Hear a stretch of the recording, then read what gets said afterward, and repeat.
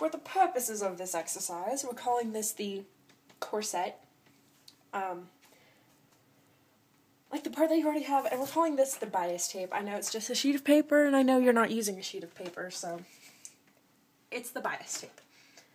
Okay, so the first step is you line it up. This is the pretty side, so that you know it's the pretty side. I will draw. Oh.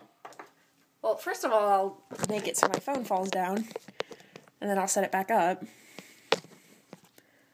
And then I will draw a lovely picture of this beautifulness. So this is the pretty side of the bias tape. And you put it down, making sure at the edge over here you have at least an inch of overhang. And then you pin it on. Da da da. And sing a song, of course, because what could be better than that? So you pin it down pretty to pretty. And then you go to your handy dandy sewing machine and you sew it all the way along at one half inch. Of course, back stitching. When I start sewing, my phone will probably fall down again, but I'll pick it up and we'll carry on. Alright, sewing.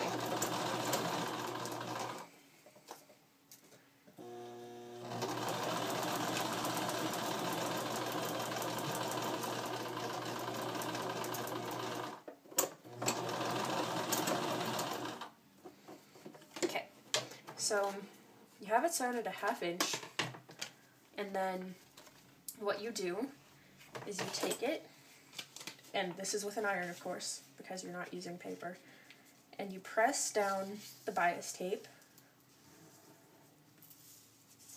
and you fold it around, and you turn in the overhang that you had, and press that down, and then you fold the bias tape and press it down twice. And you make it so that if you look on the side, um, I actually sewed this at like 5 eighths of an inch, not a half. But when you look on the side, there's going to be like overhang there on the side, like on the back of the fabric and back of the bias tape, there is overhang. And you need it to be that way. And then on the front of the bias tape, there's this seam in between the fabric and the bias tape. So it's basically like I was doing it with my corset. And then, of course, you pin it. I don't have to because it's paper, so it's folded and it's going to stay. And then you sew exactly in that seam so that you don't have to by hand do a slip stitch the entire way down. So